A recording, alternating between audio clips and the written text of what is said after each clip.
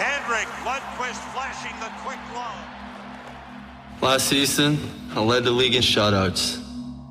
But it doesn't matter. I don't care if I turned away 1,663 pucks.